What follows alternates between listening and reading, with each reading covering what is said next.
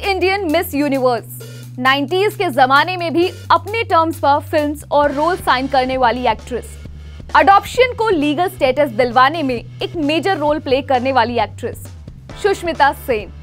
उन्हें लोग कह रहे हैं कि वो गोल्ड डिगर है और उन सभी ट्रोलर्स के लिए सुष्मिता सेन का ये जवाब I dig deeper than gold and I have always preferred diamonds and yes I still buy them myself यानी कि मैं सोने से भी ज़्यादा कीमती हीरो को पसंद करती हूँ और वो मैं खुद के लिए खरीद सकती हूँ।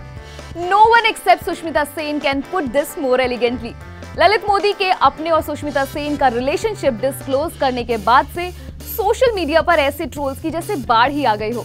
And this is not the first time जब सुष्मिता सेन को इस तरह की चीज़ों का सामना करना पड़ रहा है। Hello and welcome to uncut मैं हूँ आपके साथ Sakshi Chauhan. Sushmita has lived her life on her own terms फिर चाहे उनके रिलेशनशिप्स को लेकर बातें हो या फिर हर अडॉप्टिंग टू डॉटर्स वो भी बिना शादी के।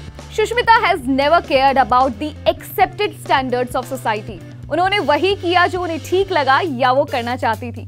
आज हम बात करेंगे सुष्मिता सेन की लाइफ से रिलेटेड उन बातों के बारे में जिन्हें शायद बहुत ही कम लोग जानते होंगे।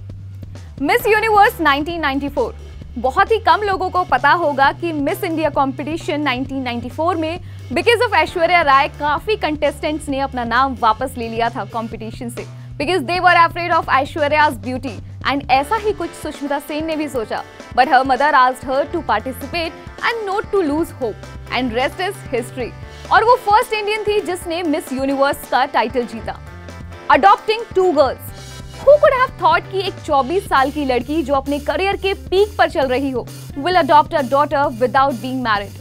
और उनके इस अडॉप्शन के डिसीज़न को लेकर उस टाइम भी खूब बातें बनी। सवाल उठे और कई ने तो ट्रोल भी किया।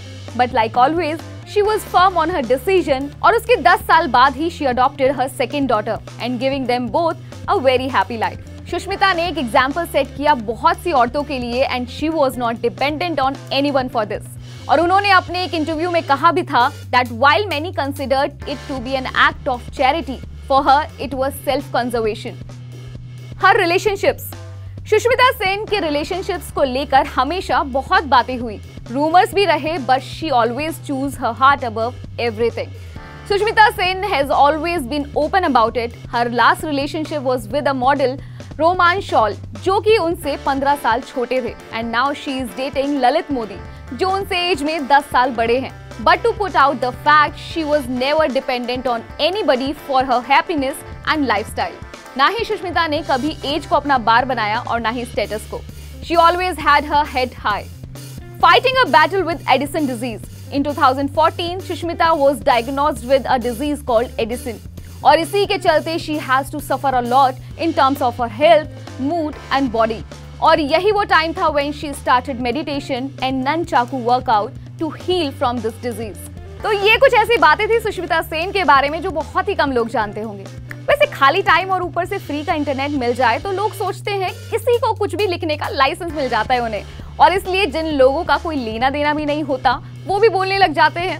पर सुष्मिता सेन का ये जवाब सुनकर शायद काफ़ी लोगों को अपना जवाब मिल ही गया होगा। आपका क्या कहना है इन सभी ट्रोल्स पर? आप हमें कमेंट सेक्शन में बता सकते हैं and also like and share this video and subscribe to uncut मैं हूँ आपके साथ साखी चौहान और आप देख रहे हैं अनकट